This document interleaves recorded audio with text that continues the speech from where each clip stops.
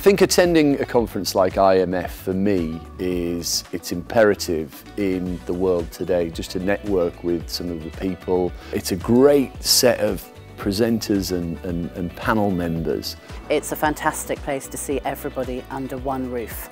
There's no other um, conference like it in terms of the customers and the suppliers get to meet and talk to each other. We have been trying to expand our business in terms of our export markets.